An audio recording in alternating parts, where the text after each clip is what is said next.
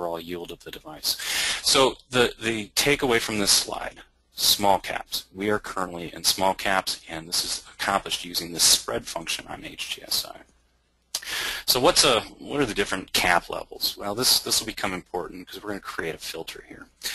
Um, basically, I took this from from Russell, uh, the Russell website, and this these are generalized. It depends on who you talk to and what the big deal is, but in general, below 2 billion is considered a small cap, and above 10 billion is considered a large cap. You can see there's different segmentations there, mid caps, etc. The bottom line uh, if you select stocks below 2 billion in market capitalization, uh, chances are you're going to be on the right side of the market.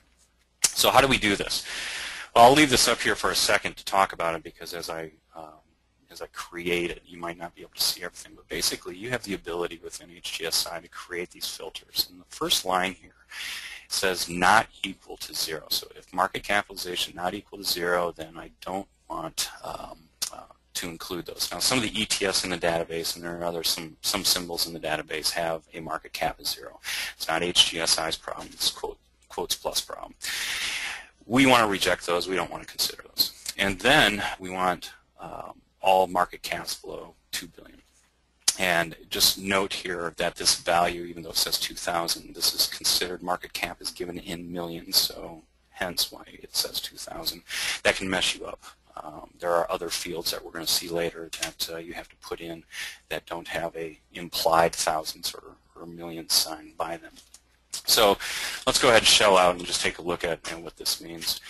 So when you click on filter, uh, you have the ability to, to create these things. And, and here's this small cap uh, filter capability. And if you don't have it, you can just say new filter. Um, since I do have it, here it is. Um, and bottom line is, is that you can change and put in anything in a filter. Now, I'm not going to spend today creating filters. That's a different lesson or a different time. But bottom line is that you can filter on small caps or large caps very, very easily with an HGSI. And in fact, I, I add to that, and we'll talk about that here in a little bit um, as we go forward here. So the the takeaway from from this is that you have the ability um, now to create a filter in, in HGSI and look at, at the small cap world. Uh, we've been in the, the small cap world more or less since September of 2010. Uh, we had a, a, head fake in January, but uh, we, we've been in the small cap phase. Now you just saw it tick up just a little bit right here. Uh, it's very possible that we could be uh, uh, going over to the large caps. You're, you know, your crystal ball is as good as mine. I don't know what's going to happen on the right-hand side of the screen, uh, but for right now, uh, if I jump, if I get a signal to jump back into the market, um, I'm, I'm definitely going to be looking at the small caps. Okay, so we've established small caps. Step two, what's we want to get a general view of the markets, and, and I try to do this on a, on a day-over-day -day basis. Um, what we have here is I look at the Dow, the NASDAQ, the S&P, and the Russell.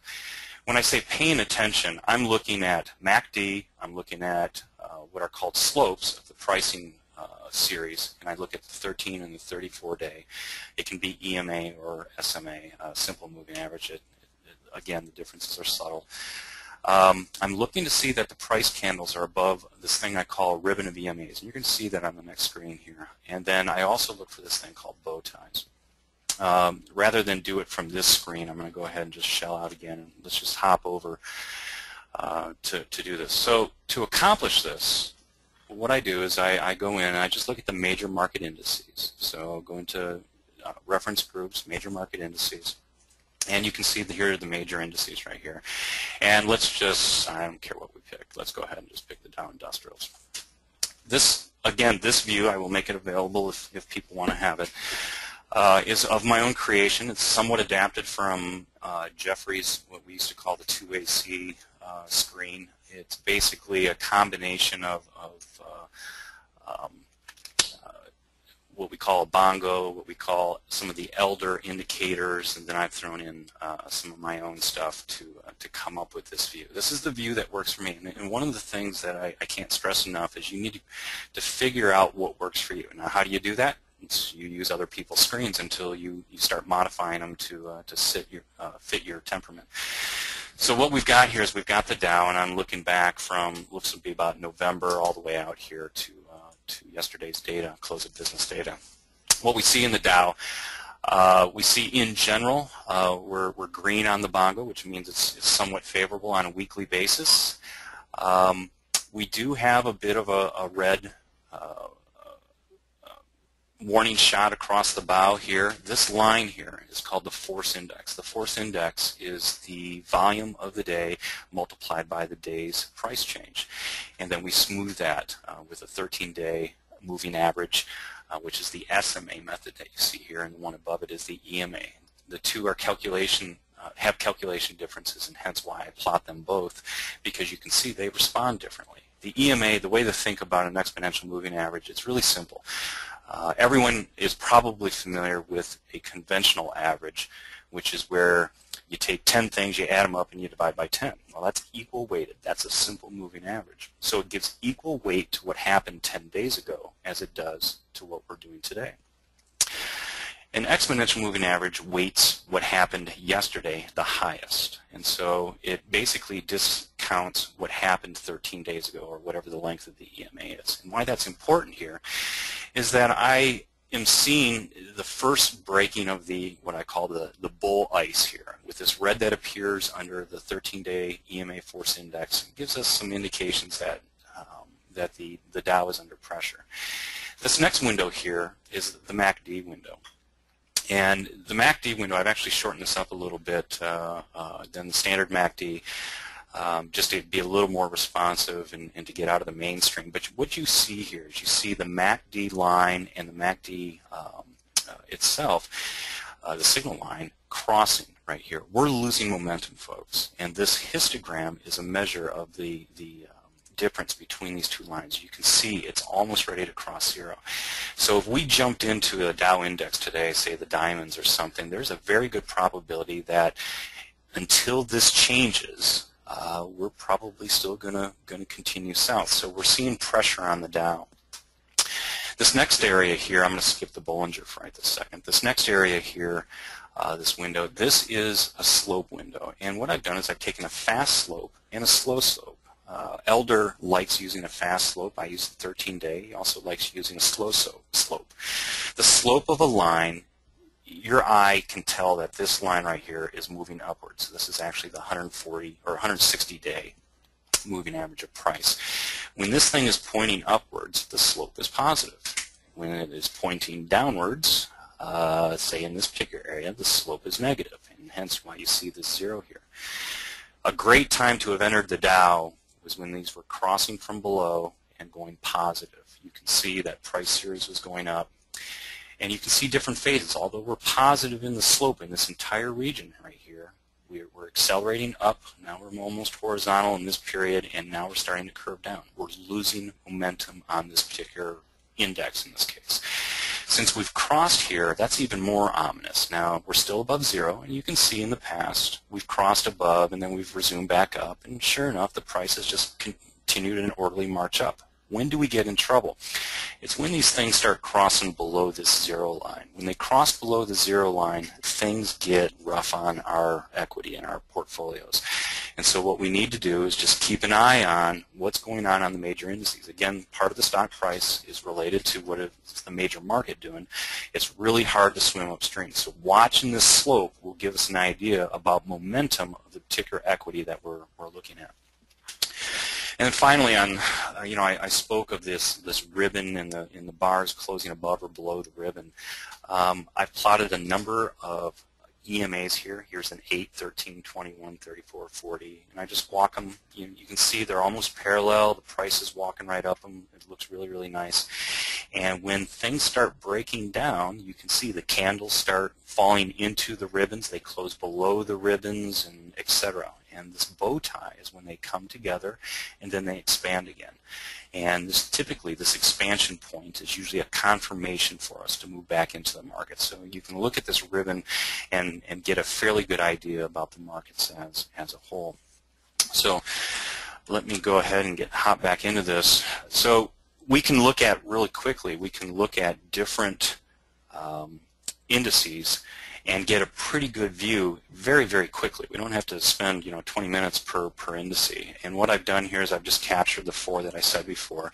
And I'm going to go through these pretty quickly. You can see that they're time correlated, so events that occurred in one pane, different dissimilar metrics, but you can see things were starting to break down and things started to improve here and you can see now they're starting to break down. That's the Dow, the NASDAQ, same type of behaviors, the S&P 500, same type of behaviors. The Russell 2K actually has been breaking down a little bit longer. You can see the histogram here is negative.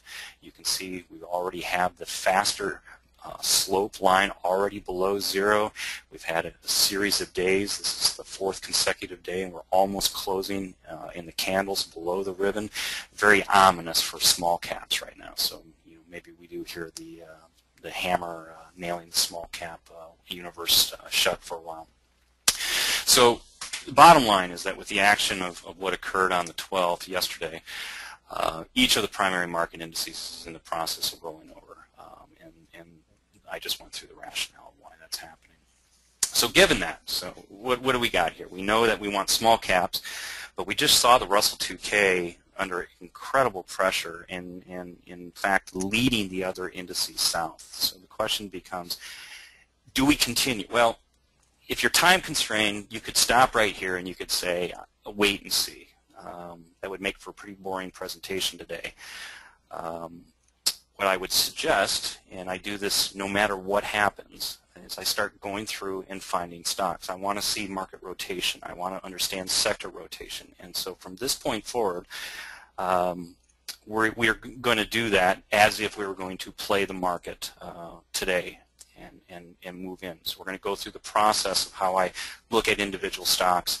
Uh, of course, with an ominous cloud in the background saying that all the markets are, are rolling over. And at the end here, we're actually going to consider contra ETFs and take a look at a, a dashboard view that I have that'll uh, show us what we, we should be thinking in terms of uh, possibly going short or using contra ETF vehicles. So let me uh, show out here real quick and, and see, are there any questions? Um,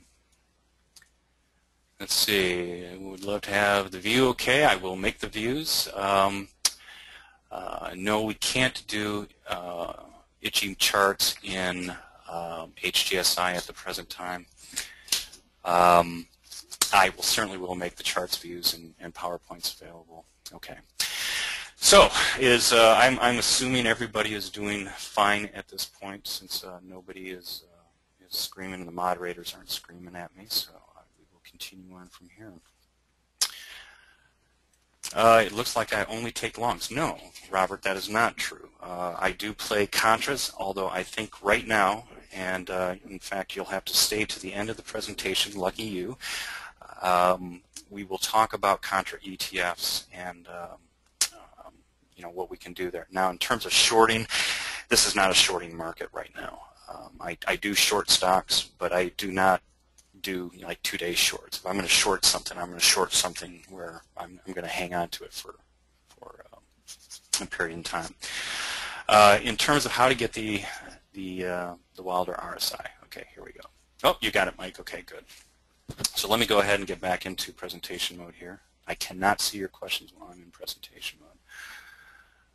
All right. Um, the next thing that I do uh, is is take a look and, and look at what sectors are being favored. And HGSI makes this really easy for us. Uh, this is this is child's play really once you know how to do it.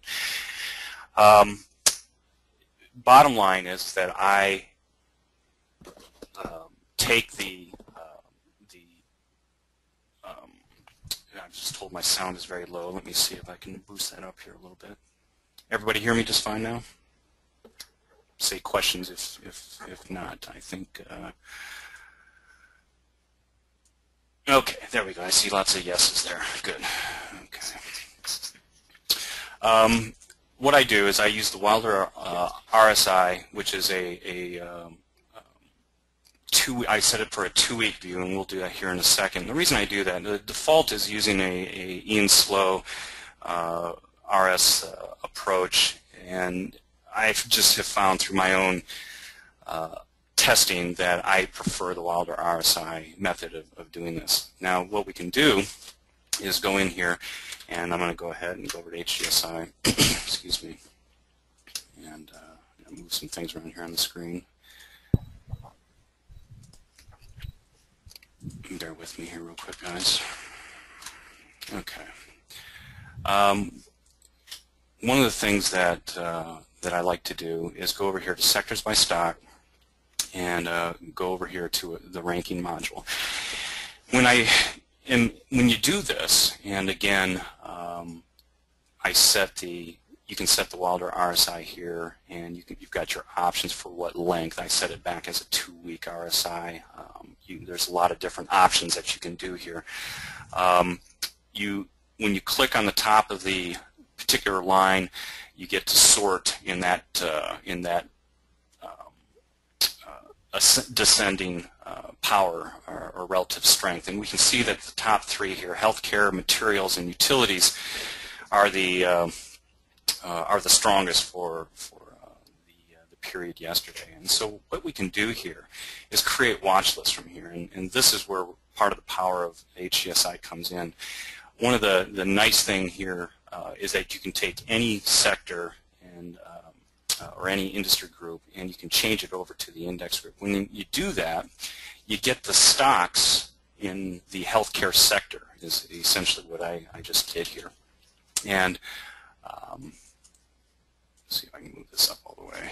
Okay, so what I've just done is I've now out of the 528 stocks that are available in the healthcare sector, I want to create a watch list out of these. And so the easiest way to do that, there's a function here which is make group from list. And when you do that, you can put it into your, your group file and uh, I do favorite sectors. I'm going to call this 11, April, 12, and we'll just call it health because I've already done these for the other ones. And instead of adding all of the stocks here, um, I happen to have looked down in the top quintile, the top 20% uh, of all 528 stocks is 107 stocks. So I'm going to have this thing pick the top 107 stocks and add them to a list. And what it just did is it created an index for that list and uh, now I'm, I'm in that particular list right now. We can do that for the materials group. I've already done it to save time, and uh, we can do it for the utilities group. And again, all you do, uh, excuse me, is go back to um, the sectors, by, uh, sectors by, not industry, excuse me, sectors by stock. You pick the top three, um, pick the one you want, and uh, you want to convert that to an index group, If change it to stocks, and once you have the stocks, then you pick the um, top stocks in that particular list, and in this particular case, um, see, I got to move. Sorry about this. It's uh, covering my scroll bar. Uh, you can pick, and you can see here the top 80 uh, excuse me, top 20% is up to 52. So then I would just create, again, uh, make a group from the list, call it whatever you want, and go from there. So I've already done this, and the result is that we now have three watch lists that have been created that we can now use and, and apply into our, our charts uh, as we want to uh, want to go forward. And what this has done for us, folks, is that this has created now a list that we know is currently in favor, right? Healthcare materials and utilities, uh, and it gives us the strongest stocks in those those particular sectors. Now, there's other ways to approach this, but this is the, the way that I like to do it. Now, one of the what I would say the, the more powerful things about HGSI is the ability to create endless numbers of watch lists. You can create more watch lists of stocks than you could probably comprehend and, and, get through. And so having a method to down select is really, really important. Internal in the program, if you're not familiar with it, um, is, which is really important, is that you have these things called smart groups, and within smart groups, uh, you have strategies, and here you have the Kirkpatrick strategies, the Morales strategy uh, for pocket pivots, and then the Woodward and Brown, which has got just phenomenal entries uh, in there. So what this gives you the ability to do is create groups out of all of this. Uh, as I said earlier, I use IBD 50. I use my own stuff. Uh, I also use Pascal Willain's uh, effective volume. And of course, your imagination. Whatever you want to screen on, you can make a list out of that and, and go from there. Um, when you bring them together, and I think this is a real crucial point that allows you to do some things with HGSI that I really haven't found with other packages, which is why, why I keep with the, the tool, one of the reasons I keep with the tool, is that it has this thing called a group inclusion report. It produces an HTML file which you can then see where different strategies have identified the same stock. Real important stuff. We're going to do this here.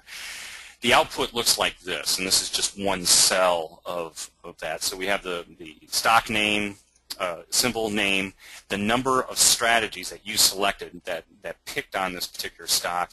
And this is a great documentation thing. If you are interested in entering a stock, you can understand that all of these strategies have zeroed in, intersected this particular ETF, or excuse me, this particular equity. That's really important for, for back testing. I typically shy away uh, from uh, intersections that have less than two um, uh, strategies pointing to them, and that's simply because there's not a high degree of correlation from a lot of different areas. And so let's go ahead and do this. Uh, how, do, how do we go ahead and, and uh, uh, generate this? So up here in your main, main bar, um, you have tools, and then you have this thing called group inclusion report. This is this is really cool. I like it. I use it quite often, and you have to select what stuff you want to include in here. And so this is purely subjective. This is how I do it. You can do however you want. I generally include the sectors, although we could disallow the ones that we, we said aren't in the top. It won't matter in the big picture here because you, will see why here shortly. So I, I choose the top 25 companies in each sector just because I want to see um, uh, what comes out of those. In Kirkpatrick, he you have to read a little bit about how he does what he does and how it's implemented here, but the bottom line is, that we have lists. In the list, we have add, remove from your watch list, or add to your watch list. And so you just want the things that are added to your watch list. Don't select the ones that are being removed because they're being removed. Okay. Uh, Morales, of course, po pocket pivots are uh, important. Uh, you can make some good money there understanding what, what those are. And then, of course, WMB, and, and we select all of those. Um, and I'm not going to select these, so let's uh, get rid of those. Excuse me. And then down here, um, I haven't talked about it, but we have uh, EV candidates. These are effective volume candidates. I'm going to go ahead and throw those in there for now so we have it for later. And then we just ran this health favorite sector. I'm not going to select that because it's really duplicated right here, but here's health, materials, and utilities. Those are the three sectors that we know are doing really well. Look at the syntax, 11, April 12. We're going to see that in the report. And then the IBD, let's take a look and see what IBD 50 stocks uh, show up, etc. So when we do this, it's going to ask us now where do we want to stuff it. Um, I you know put it in a location you can find it. Um, I, I, suggest that you always put it in the same location. And away we go. Now, before you start looking at this, I'm going to close it, and I'm going to show you why. That was an HTML file, HTML file. And HTML files you can't do anything with unless you have an HTML editor, and most of us don't. So what I just did is I had preloaded this. Um, this is the report we just ran. Um, this is Excel. And in Excel, you have the ability to do filtering very, very easily. If you don't know how to do this, um, let me show you real quickly. This is this is probably where this group inclusion report uh, can um, uh, really help you filter down uh, what you want to pick. Up here under the data tab you have this thing called filter. And so if you hit, hit the column you want to filter on, you can see when I push down on the arrow here, it says select all. Well, I don't want to select all. I want just the stuff, but we're going to look for high column count numbers. So we did healthcare, materials, and utilities. And you can see that there are a number of stocks now with high counts. Now look at these. We've got some that with only two counts and they go all the way down to one count. I typically ignore all of these that um, have one count, two count, three counts pushing it. I'm not really a big fan of three count. In fact, I'll just take it out of there. Two is my inside limit. And what we have left is out of all those stocks, and, and there were a large number of them, we've now down selected it to you know 10 stocks or so. And you can see that two of them were intersected by many, many different strategies. If you expand this, you, you'll get to see those, but there's no need to because you already know that they were in your group that you were looking for to begin with. Note here, there's no utilities. Um, that's kind of interesting. So the utilities were not intersected by the other strategies. They, uh, healthcare and materials were. So we have this this list, and now from that list we can we can go forth and prosper.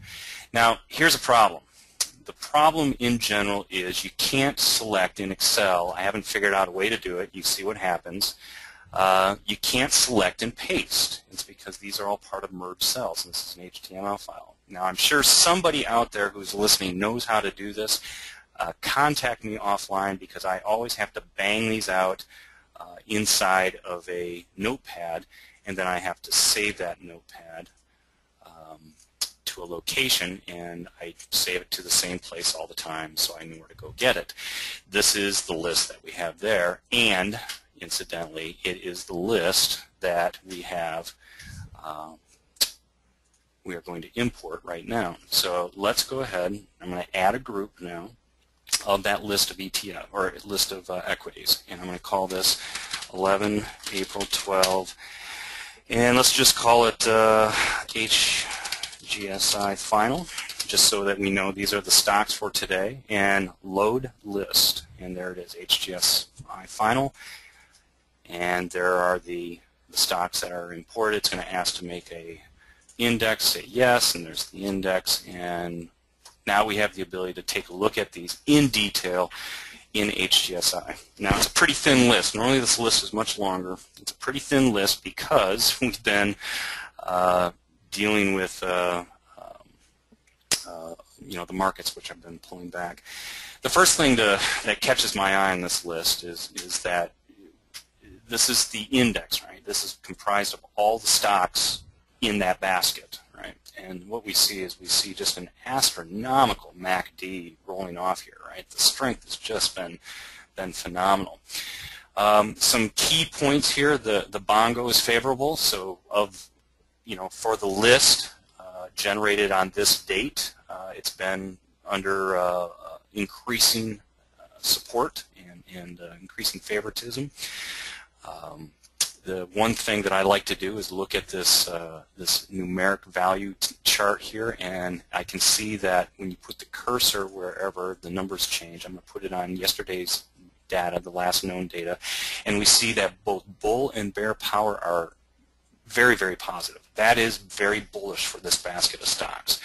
Uh, the Elder 13-day moving averages, uh, both green, which means they're positive, and the Elder 2-day is red. Now that doesn't mean it's below zero. I actually invert this line because in the Elder methodology you want to buy after a reset. A reset is when the Elder Force Index goes negative and then comes positive. So the transition from green to red it would be the day that you would buy when you actually are clearing prices. So right now this is saying that you know by strict elder rules you would not have entered any this index if you could trade this particular index.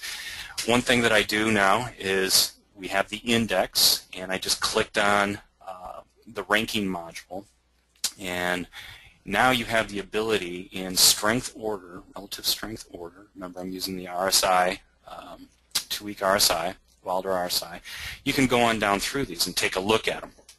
Well, here's Intuitive. Intuitive looks pretty darn good. Look at this. We've got a new breakout that's occurring in terms of the elder. We've got the force index, which pulled back uh, a little bit uh, yesterday, and if today was up, it would actually be signaling that you could you could move into this uh, this equity. I haven't checked it. We can check it in a little bit.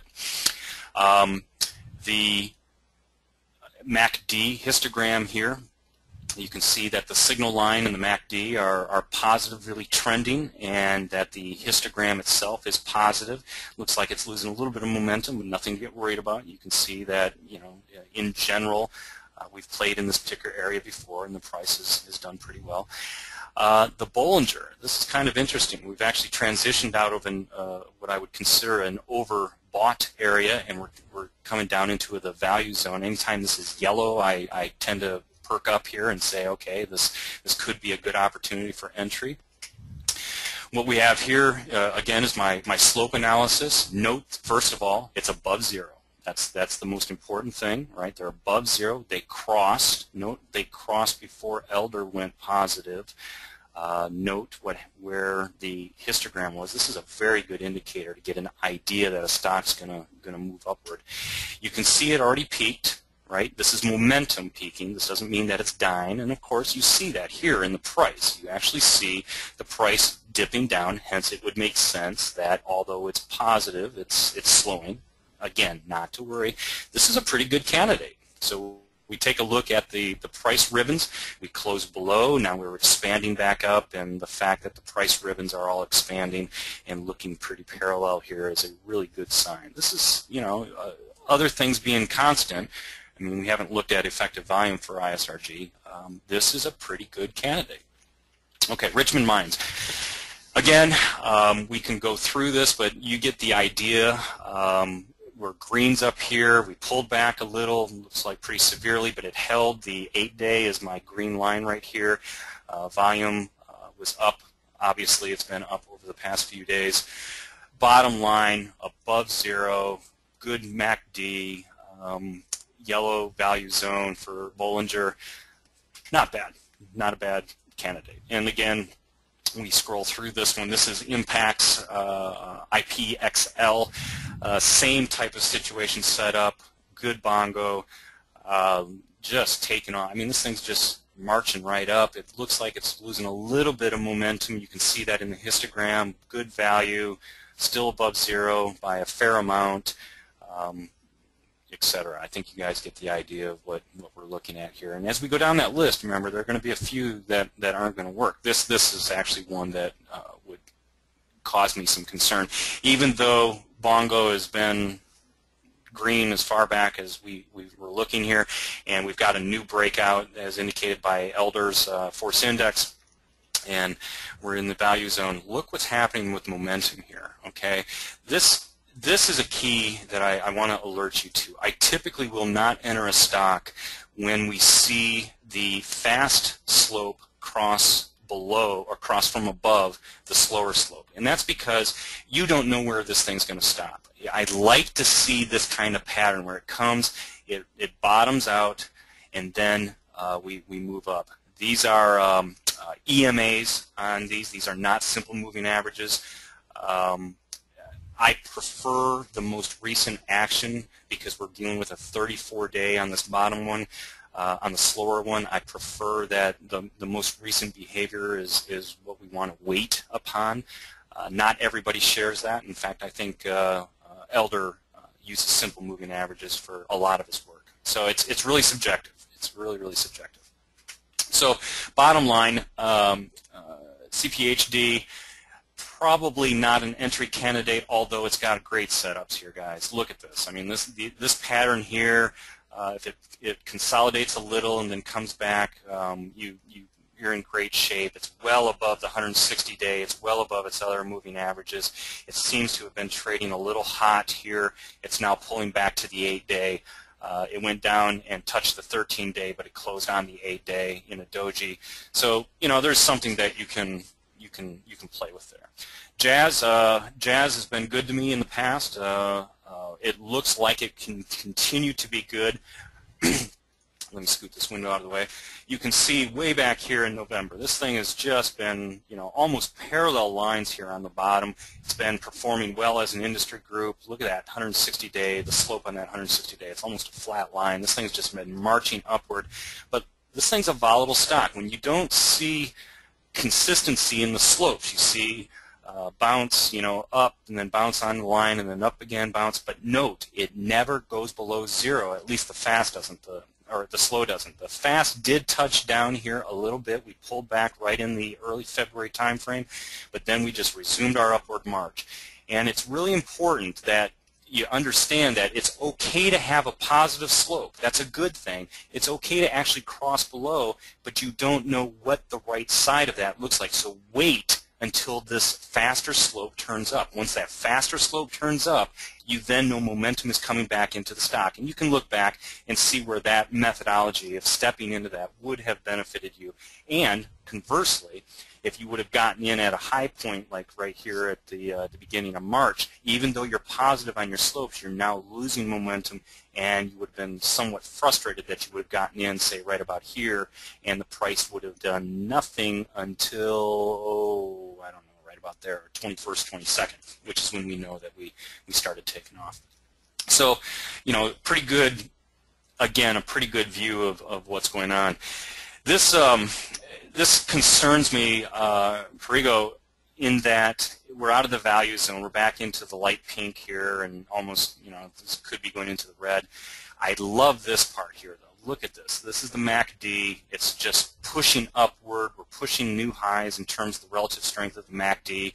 Uh, we've got green bongo. We've got these, uh, uh, the, the bull in the, excuse me, the bull um, power and the bear power are both positive. Again, you can see that by going to the um, uh, numeric value. It's 4.8 and 3.35. Anytime these are positive together, the bull power, in case you're not familiar, is the high minus the 13-day moving average. So you want that to obviously, if you're trending up, that'll be a positive number. Bear power is the low minus the 13, or the 13-day minus the low.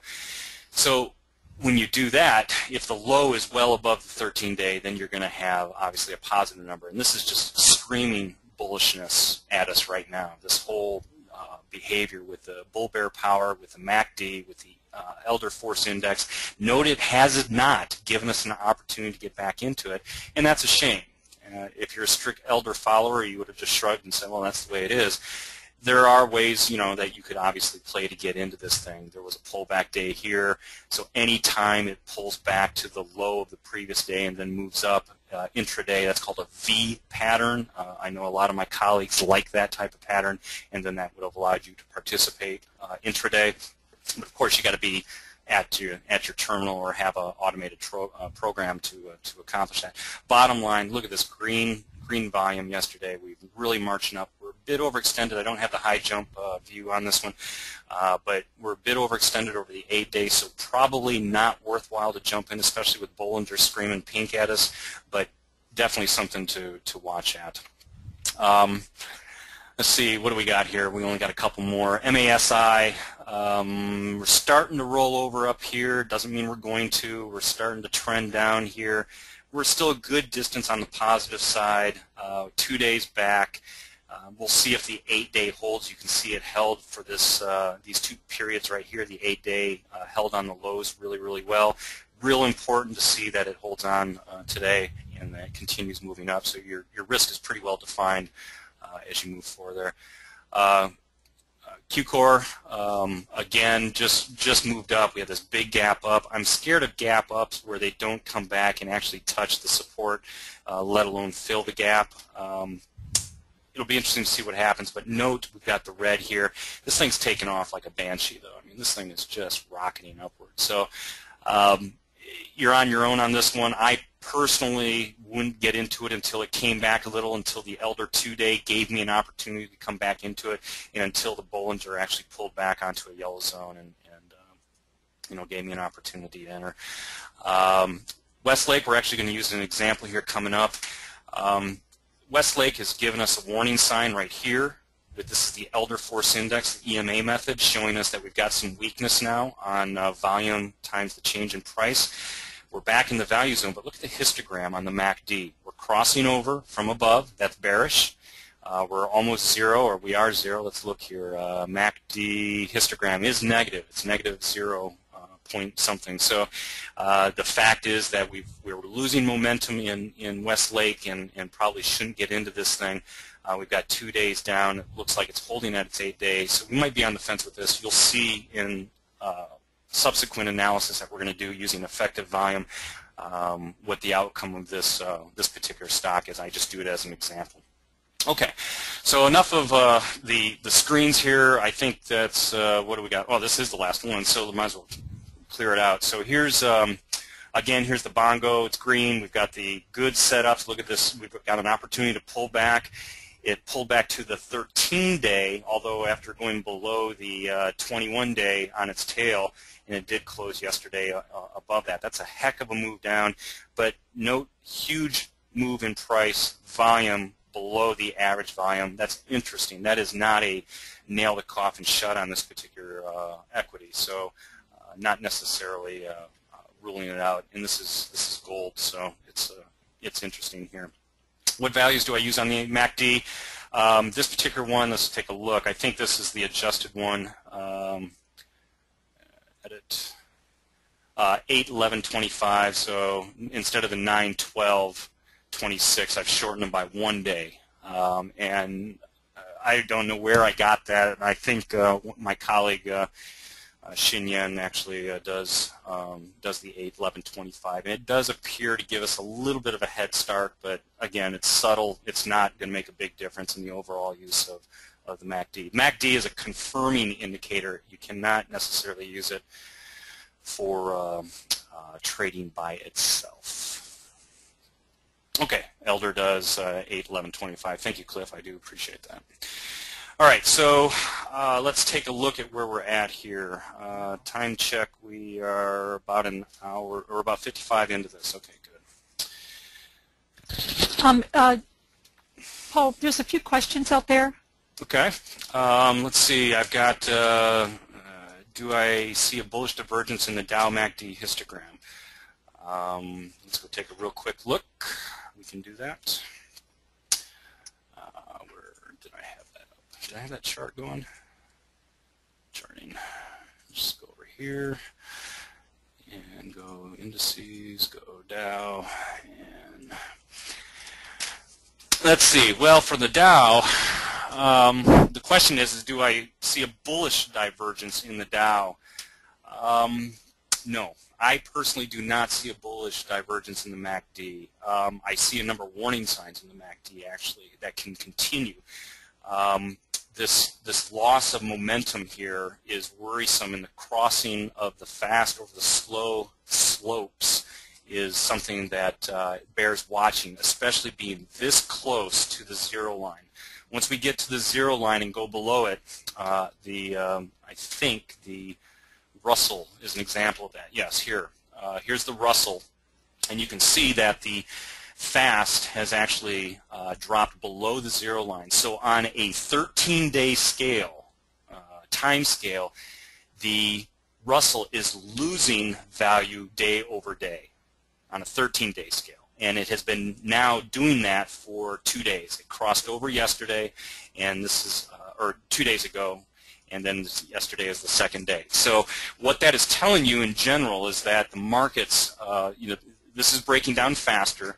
The question was specifically about the the Dow um, uh, Dow Jones, uh, the utilities, and no, I do not see the divergence. It doesn't mean that it's not there, but my eye is not picking up on it. And given the weakness that I'm seeing in the other indices, uh, with the Dow being um, um, the uh, you know, the leading industrials, large caps, um, I'm not seeing uh, any reason to go into this. Now, that being said, uh, look at the volume down here. Volume isn't screaming sell. And you remember our other chart that we had, um, there is a uh, argument to be made, I think, that if I go down to this thing, uh, that large cap versus small cap, I've got the Dow up now. I do not have, um, let me go ahead and zoom out here. Uh, if we use the Dow with the Russell and the, the, the uh, IWM and IWB, um, that chart that I showed you, the uh, let me zoom in here a little bit, the chart that I showed you earlier was cut off here because it was done two days ago. It's taking a while to put this presentation together. Now we've crossed above that uh, that moving average, and even more importantly, the slope of that moving average is almost horizontal. So we may be favoring large caps. Is that a case to go into the Dow? Not yet. Um, I, I'm, I'm, loath to say that uh, we should be playing the market on the long side right now, and, and there's some other indicators to, to show us that here in a little bit. So let me go back to where we were. Does that, uh, does that answer your question there, Cliff? Okay, how do I input EV stocks into HGSI? I'm a follower of EV also. Okay, well, we're going to cover that in a little bit. Um, we're going to do that if, uh, if time allows. If time doesn't allow, I, uh, I don't have anything. I don't have a hard stop today, so I can stay on if uh, Debbie doesn't uh, kick us off here. Um, you're supposed to laugh, Debbie. I didn't hear you laugh. Okay. I still didn't hear her laugh, so that's not good. Okay, so the next thing that I want to call into and just uh, start tackling here is we've got the group inclusion report. Remember, it's this intersection, uh, that concept that allows us to filter down all these stocks. And you saw we, we have some good stocks out there. And if the market turns up, I mean, today was obviously a, a better day than, than yesterday, but I'm looking right now at FinViz out of the corner of my eye, and the markets have been bleeding since about 11 a.m. So it's, it's you know, uh, today's not a day to get into the markets. Um, what I typically do then is what we just went through. I look through each of the individual window panes. Uh, I call up the um, uh, the numeric window, so if there's any question about some of the things you can't see, uh, what what um, you know what is the behavior of the overall chart. Uh, this is uh, of Westlake Chemical, and I call it the eye chart here because I know you can't see it very uh, very cleanly on yours. You will in the in the PowerPoint. Um, also in the PowerPoint, then obviously you'll have why I think Westlake uh, is positive on some regards and uh, negative on other regards. And we just went through that in, in fairly good detail, so I'm not going to belabor the point here. Um, one thing that I do want to want to say here is that of all the indicators that that I use, uh, the slope indicator is by and large great for timing your entry. It's not so good at timing your exits, but for timing your entries, uh, it's, it's really important to understand. You want the slope to be pointing upwards, uh, and the more conservative you want it to be positive and pointing upwards. You may miss a little bit of the play, but then you don't get as many whipsaws. So you need the slopes to point upward or at least stabilize horizontally to enter. Uh, and if you're unsure of this, then you should always check whether effective volume is supportive of a move into the security. So that being said, uh, I'm going to take a, a two-second break and get something to drink here.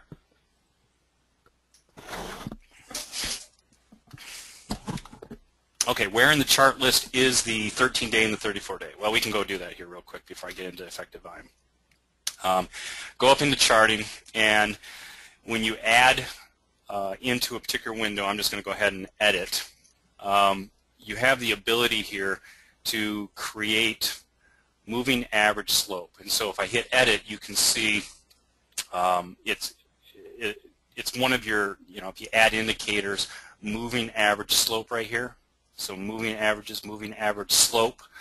Uh, so you, once you select that, that moving average slope, um, you have the ability, let me go back into that, uh, you have the ability to uh, um, then change it however you want. Simple I think is the default exponential or weighted. I use exponential, and you can see that I've got the period set to 3, and then it actually applies a smoothing factor of 4.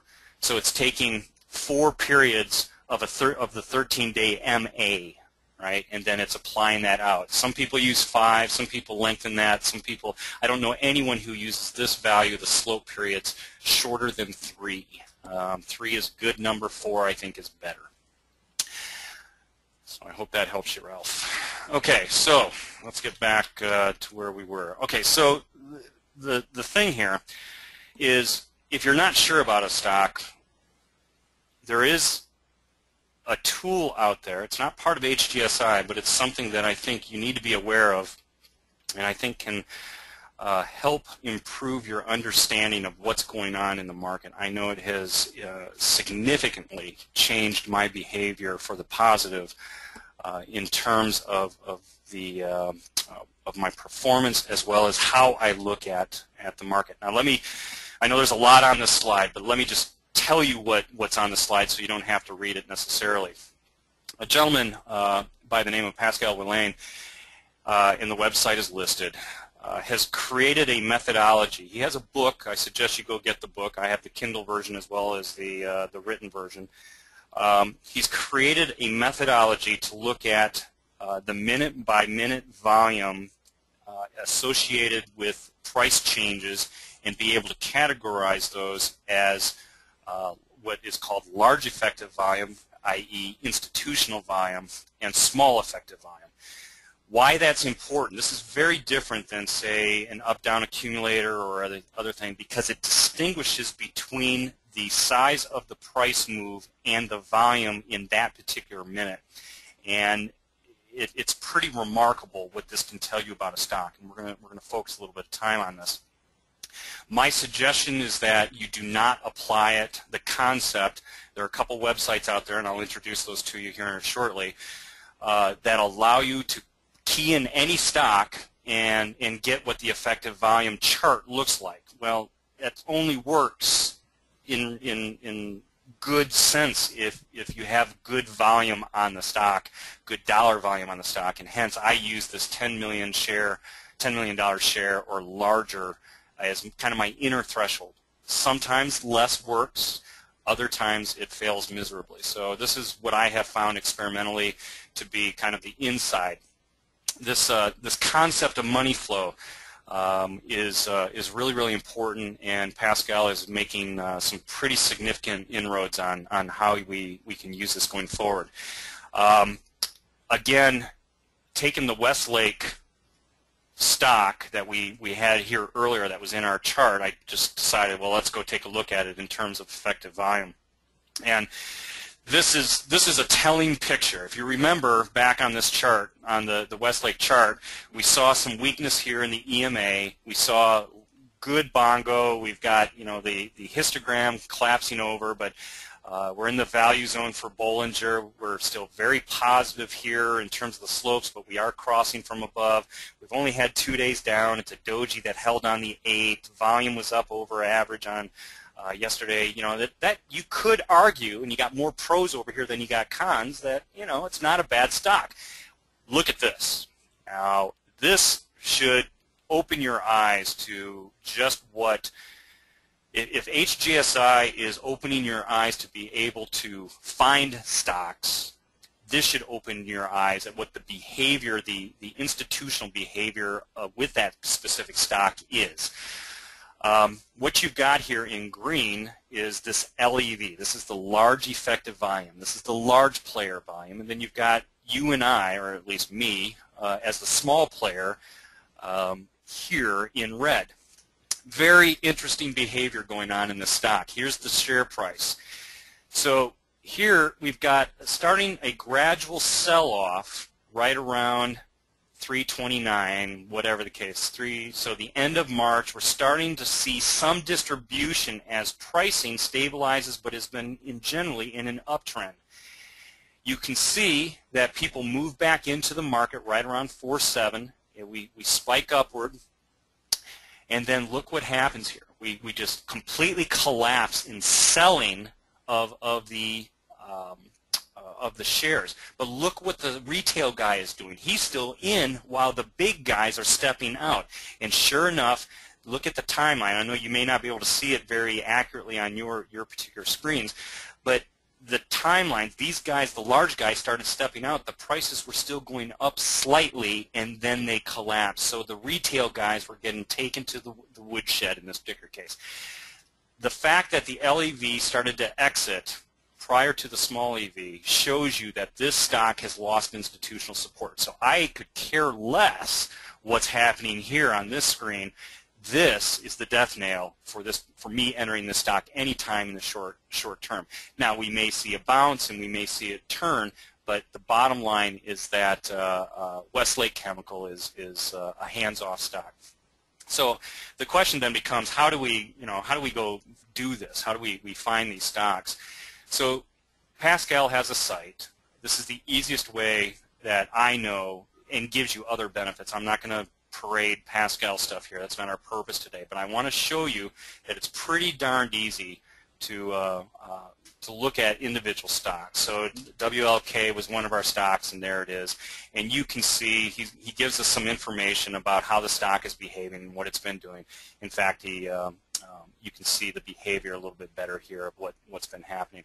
The bottom line is, is that you have the ability now to, to look at effective volume, key in your stocks, and see what is the overall behavior of, uh, of that particular stock.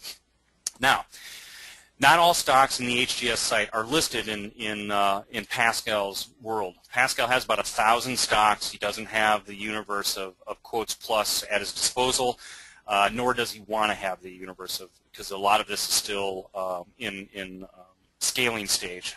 Another chart or another site that you can use, which I think has a lot of pros and cons, is this uh, Monest site. So what we're going to do is I'm going to show you. This is www.monest.net uh, slant charts. Um, just it's in Dutch, I think. I, I, haven't looked at it here recently. Um, bottom line, you have the ability to go over here and select effective volume, the small, large, all-player graph. And so let's look at um, the um, at WLK in that same vein. So here's WLK. You can see that sell-off. All right, here's uh, the small players are the blue line here. The large players are the red line here. And sure enough, um, we see a sell-off uh, even though the price hasn't uh, hasn't necessarily reflected. We've lost a lot of institutional support. This this site, the Monest site, has the ability to plot any stock. And remember my warning that I said earlier about this comment right here. Um, this comment, you need to make sure that the dollar volume of the stock you're evaluating is significant over 10 million. Uh, the green line, sorry about that, the green line is what is called total. It is the arithmetic sum of the small and the large. And typically, you want to see TEV, totally effective volume, moving upward showing that there's there's uh, attraction within the the overall stock. The fact that it went down dramatically shows that the large people stepped up far greater amounts than what could be made up by the positive influence of the uh, uh, the small effective players. Okay. So again, Monest is one way to do this. Uh, Monest doesn't is just charting. Monest doesn't give you much else than that, and it's not accurate if there's low volume and you can get yourself wrapped around the axle. What I do, uh, I use TradeStation, and TradeStation gives you the ability to go in and look at a given chart. Uh, in terms of effective volume, I, I have the plugin from uh, Pascal's site. Um, what was it, WLK? We'll go ahead and put that in here. And you can see in the sense of, of uh, Westlake, sure enough, where this red line here is the small guy, the blue line here is the um, uh, large effective volume, and the yellow line is the sum, the arithmetic sum between those two. This is on a very short timeline. I also have the ability to uh, um, to do this across a uh, a longer timeline, and I think the results are a little more market. You can see that Westlake has been actually in distribution for some time. I say that because the large is below the retail, so the, the raw values uh, have been, been uh, pushed out. In fact, as I scroll back in time here, I don't ever see the large guys really dominating this over the last 40 days. That's important. Uh, that tells me that this stock has not had a lot of institutional support um, over time. Yes, this is TradeStation, and TradeStation does, uh, the plugin requires one minute bars in order to function. So this is intraday. Uh, this is why I like it because I get to see relative behavior, and, and uh, we'll uh, we'll talk a little bit more about this here in the in the next couple of slides. Okay, so um, what I what I do is that once we have found suitable candidates in HGSI, I check the effective volume on each of them. Um, and as I said, uh, not all of them are going to be at, at um, uh, site. despite that, I have either Pascal or I have uh, TradeStation, depends on what PC I'm on uh, at the time and if I'm on the road or not. If I'm on the road, I use Pascal's site. Um, the Moness site has a large majority of stocks. Uh, charting of EV is relatively easy. You just saw that. The presentation is different, and you have to be very, very careful. Again, if you don't pay attention to that dollar volume thing, um, you, you could get yourself wrapped around the axle and have the wrong, uh, wrong conclusions about what you're seeing. So there was a question earlier about how do we, um, uh, yes, Gertrude, and Gertrude just said that uh, um, Pascal will add any stock that you want. Uh, he has always done it for any stock that I've requested, so that's a good thing. If, if you have a burning need, he'll add it, and it'll be in the next day's run. Thank you. Um, and so the um, question that came up earlier was how do you bring effective volume into it? So let's step back here a second real quick. What have we done here today? We've, we've from a top view, we've decided that small caps have been in favor, but there is some pressure with the large caps right now, right? There, we saw that spike up. We saw also in the charts that we were doing that we had three sectors that were favored, but the intersects of those sectors only said that healthcare and materials were going to give us good candidate stocks. We then brought those into HGSI. We look at those in HGSI through a number of filters, um, uh, Bongo, uh, MACD, Elder, uh, slope analysis, this ribbon analysis. So we've got a pretty good view. We've got a good, what we think is a good basket of stocks. And then before we make our buy decision, we go over and we, we, we manually pump those into, um, uh, into the EV site and just get an idea on what institutional support and what's the, then the overall behavior. Pascal flips this a little bit on us. Uh, Pascal also provides us the capability of having another watch list added to our, our world. And so Pascal generates the EV status on his universe. And so what he essentially does is he, over here, and, if you're a subscriber, you have access to this, here's the link to the general list of stocks and their ratings. And he also gives you, by the way, stocks with the best ratings and then conditions on those. You know, terminology I'm not going to get into today. The, the bottom line is, is that you now have another watch list that you can pull in. Um, let me just pull this in.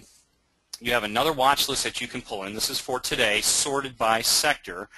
And he gives you all sorts of criteria that, again, is not necessarily what we're interested in today. What we can do, though, and, and again, just like what I did earlier, we want to look at these, these stocks um, knowing a little bit about what we know. We, we know the um, sectors that are being favored, and we also know, in general, um, uh, the uh, small cap, large cap thing. We can now look into uh, a list of stocks using the uh, EV component, the effective volume component, and basically using this filter capability, I can throw out stocks that aren't um, uh, being bought right now. Now, being bought in Pascal's world means that large effective volume is increasing. So I want to get rid of the stocks that are being sold. And when we do that, we've just got buying continues, buying surges.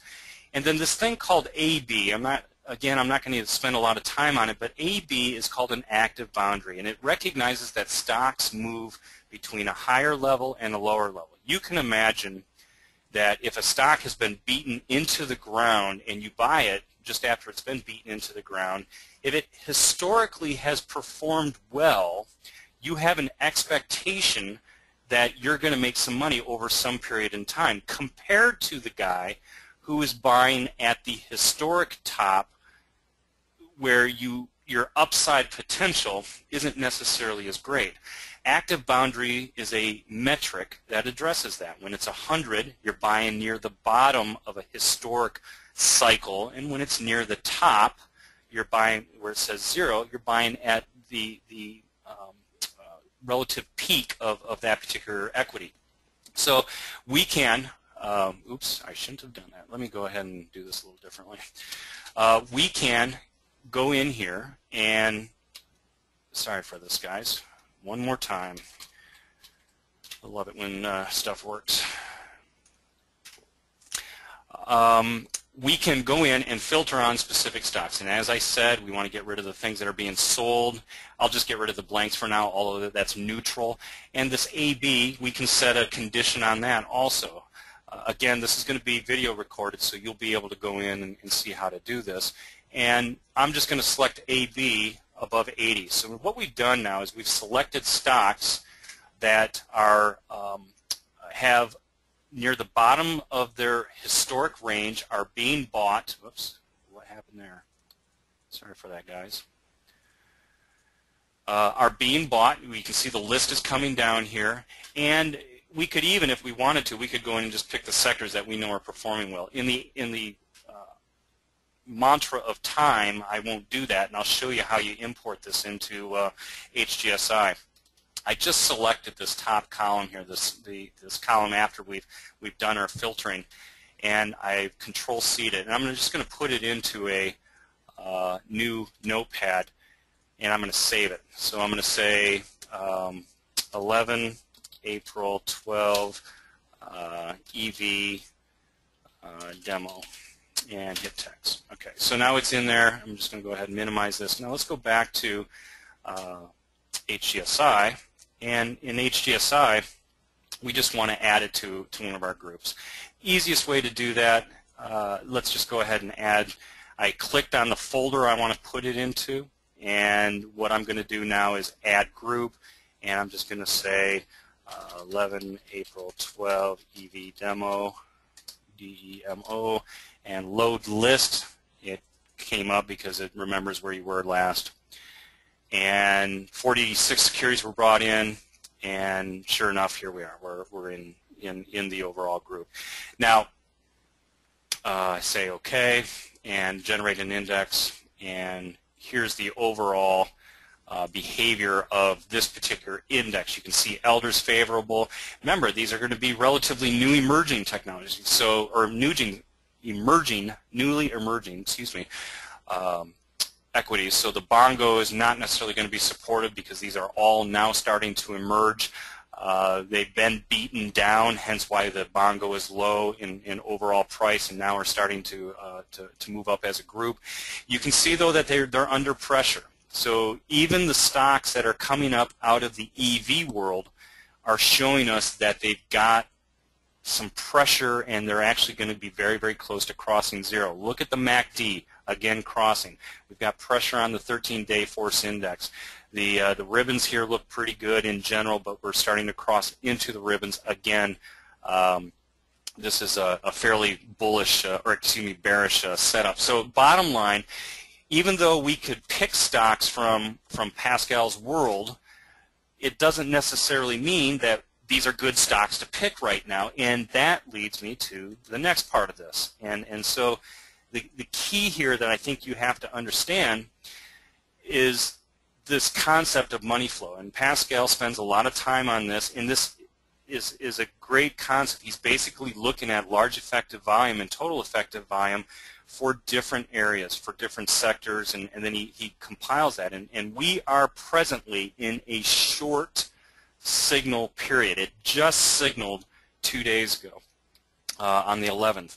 Why is this important? When you're in a short period, you don't buy stocks long. Well, guys, what did we find way back here when we were doing, uh, let me go back to this stuff. What did we find when we were doing the Russells and, and the S&Ps? We're rolling over. This is just another confirmation using a completely different methodology, by the way. Um, let me get back to this uh, a, completely different methodology that allows us to understand that institutional money is flowing out of the market right now. And unless we see institutional money coming back in, it doesn't make any sense to come back into the markets on the long side. We said that back at step three, if you recall. That was an hour and 10 minutes ago. But going through this process of generating the list and understanding, I think, is, is something that we all need to do and, and that will be very, very advantageous over the longer haul. This is a zoomed in view of money flow. And this is the same picture that you see here uh, with the S&P and then this he's got an overbought oversold indicator. This is just the, the money flow in the S&P. And you can see we had a, a, a go long signal a cash signal. These are happening fairly quickly, by the way. This normally, the span doesn't occur this frequently. Uh, it drops down. Uh, we had a, as soon as we crossed below the zero line, we had a confirmed sell, and then that kept us out of trouble going into the mid-March. Coming out of March, not shown on this diagram, we actually had a signal that caused us to go long. Uh, there's a overbought, oversold indicator, and we were very oversold, and when that transitions out of the oversold region, that will kick us back into the long side um, on a uh, tentative basis, and we climb back up, and you can see we got a good signal here last week, and then bam, we're, we're back on the short side this week. So bottom line, you should not be moving into the market on the long side right now. You should be protecting profits or cutting your losses. Um, that, that's all I need to really say about that. So given that, given that, we know that um, large cap versus small cap, we know what sectors are being favored. We've gone through the stock analysis. We, we have the tool now to compare what the institutionals are doing. And the big picture money flow says the indices are falling apart, the, the wheels are coming off the, the cart, and it is confirmed by a completely independent method, uh, effective volume, which says that institutional money is flowing out of the sectors that leads us to think, well, we should be going on to the short side. Well, maybe, maybe not. I think there's a great thing to do with an HGSI that I rely on. I've posted about it in my blog lots of times, and I urge you to, to um, uh, do this yourself. Basically, what I do, and let me just go over to the blog instead of doing this, uh, or on, not the blog, the uh, HGSI, rather than trying to uh, nail this uh, um, in PowerPoint. Um, I have created a another watch list called Direxion Bears. These are the Direxion Contra ETFs. They're leveraged to 3x. So if the S&P 500 moves up 1%, the Contra in the S&P will actually go down 3%. So very sensitive to overall moves in general. When you do that, and here are all of the ETFs that fit into that category, when you do that with my, my view here, you see some pretty interesting things. Now the question was, shouldn't we be thinking about the Contras? Um, yeah, we should. We should be thinking about the Contras. Here's why. But does that mean we move into the Contras? You have the MACD of course, Elder is going to fail because Elder is not in a positive uptrend in terms of price change and volume, right? So you know Elder is going to fail. We are really early in, in a turning point in the market. You can see where it turned here back in March, but then it immediately, as soon as this bull took over, it, it went back into, uh, into cash. You can see the EMA, which reacts faster, started moving up as of yesterday's action. Look at the histogram. The histogram just went positive as of yesterday. Now this is as of the, the these are the, the, uh, the Direxion uh, ETFs. So these are real sensitive. And you can see you get a bullish crossing in the lower half of the MACD window. This is like being handed to us on a, on a platter. Um, this is a beautiful place to be because what it basically says is that there are some ETFs. Remember, this is the index of all of these, right? This is the average of all of these things. There are some ETFs which are, are worth considering on the contra side. Look at this. We have another crossing. Now it's still below zero, but it's pointing upward, and they're pointing upward at a pretty good clip. As soon as these things go positive, the 13-day will be first. That's the red one here. That means that on a 13-day scale, this baby's starting to make money. All right, so the entry point is actually within the next couple days if the bear continues. I don't know what the right-hand side of the, the graph looks like. Right? I don't know what it looks like out here tomorrow and next week. But right now, this is saying get your shopping list ready. Look at the prices of the index. They're marching upward steadily. They're starting to cross into the ribbons. As soon as they start clearing the ribbons like they did back here, of course they've got to hold. In March, they didn't hold. They didn't hold back in uh, early February. The, as soon as they start clearing and holding, you know you've got the all-in signal. Now, you can do some, some surgical strikes. That's not investing. You can do some trading. How do you do that? How do we figure out right now which ones are the best? Well, you built the index, click on ranking. Here you go. Here's the relative strength. So EDZ, let's go look at it. EDZ, still negative, it's almost crossing. Looks like it wants to go positive on, on uh, Elder, but it's still got a day. Look, we're well below the value zone, right? I mean, this is, this is screaming buy, but I wouldn't do a full position on it, right? You, you gotta you gotta wait till these things really start maturing. But this would be one that is a pretty good candidate. Let's look at the next one. Ah, this one's already above zero. This one is, oh, the 30-year Treasury. no wonder. It's been back and forth, back and forth, back and forth, back and forth. So 30-year Treasury, um, uh, when, when life is not going well, it, looks to be, uh, the contra Treasury, I should say, uh, looks to be like a good place to be. And that makes sense overall, right? Interest rates go up. People who have locked in on bonds, the value goes down. So then the bear would increase in value. Um, it's interesting to see what happened here. I don't know what the news is that promulgated this yesterday, but overall, uh, the trend is up. We're, we're, we're coming down. Take a look at, uh, uh, at TMV. Look at the semiconductor bear here. Starting to come up. This is a really tight pattern in this ribbon. Um, we're just starting to cross over now uh, into positive territory on the, uh, the slopes look at this. We're going to start moving from green to yellow, so there's some accumulation. We got a confirmation in both the EMA and the SMA methods.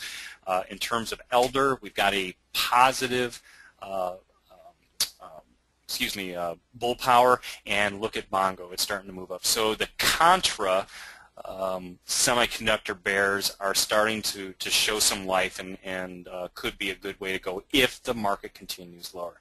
You get the idea of what we're doing here. I mean, it's, you can see we're still early, we're still below zero, but we're pointing up, we're crossing over. Here's something that's gone positive. This is the small cap. Makes sense, right? We saw the Russell 2K get hammered early.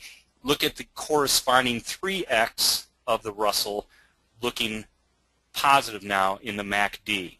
This could be, a, you could do a good trial balloon to come into this and look at this. The 13-day uh, um, slope has just crossed into positive territory. So, so from this day forward, uh, you'll be making money if the trend continues. I don't know what the right-hand side looks like. Uh, nobody else does. All right, so let's uh, let's wrap up here. Um, let me go back down to the big picture here. So, so what, what's the big picture? The big picture in terms of scanning, I use HGSI to generate these watch lists. Um, once I get the candidates, I use effective volume. You see how I do that. Um, you can also go to effective volume if you are a member, and you can download uh, a list of good EV stocks and then pull them into HGSI. And when you put it all together, I think you need EV to make your final pull the trigger decisions because it tells you if you're swimming upstream against the the uh, the institutionals or you're swimming with them. Remember, follow the whale type of mentality there. So um, what I do is I use HGSI and TradeStation. Once you have your list uh, in HGSI um, and and you know what you're going to do, you have the ability to then go in and uh, pick the stocks for for subsequent analysis. And as you saw earlier, we had this this list of, of what is you know we called the final. One of the neat things that you have the ability to do is copy this list to the clipboard. And if you do it as a text column, all these symbols now are sitting in your your uh, your system, and you now have the ability to go in to your package, and I just happen to have TradeStation here, and if I wanted to um, look at the effective volume on those particular ones, index doesn't apply, obviously. We said ISRG in, in, in uh, Intuitive Surgical was one of the stocks worthy of consideration. Right? It's down on the day, but let's take a look at effective volume. Uh, again, small is red, Large is blue. Look at what we've got here. Uh, we, although we have a general degradation of, of large, it's not huge. Right over here, it's a little over 200. Down here, it's 134. The units aren't important; they can be explained, but it's not important for what we're trying to do here. Bottom line of what we're seeing here is that intuitive on a 40-day basis looks pretty pretty good. Okay, it's it's not bad.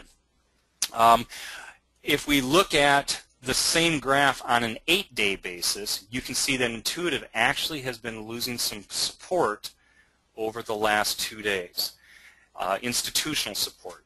So is this a candidate to get into? Um, perhaps not. Um, and, and so what I do is I would just blow it off my list like that, and then I just keep on scrolling on down until I find, you know, a, a series of candidate stocks that, that look pretty, you know, pretty compelling, pretty good.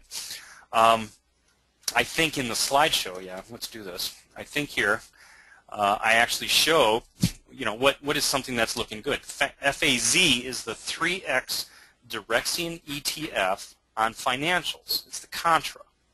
So as the markets, as the financial markets go down, this thing goes up three times, or three times as fast.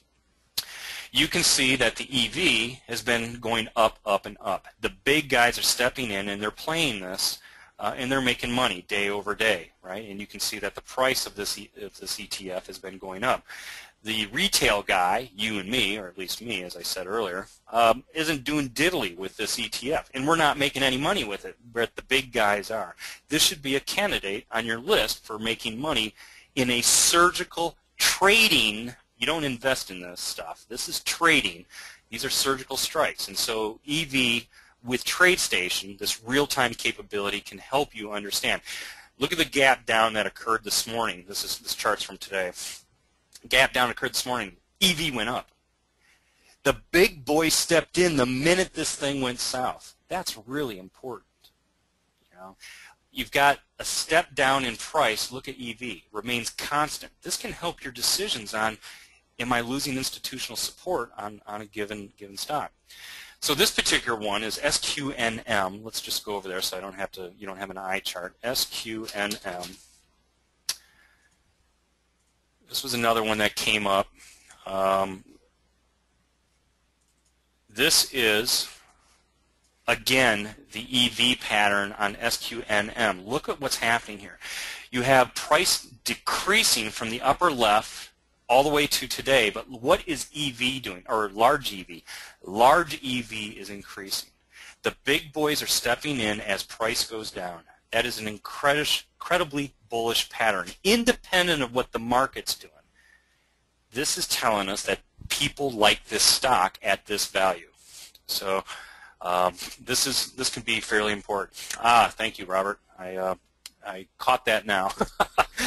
um, so the you know the, the the big picture here is that you have the ability now with these lists to be able to paste them in um, excuse me paste them into TradeStation uh, look at the EV in real time. You can get the EV plugin from Pascal's site. It works wonderfully. It does does all sorts of, of things for you.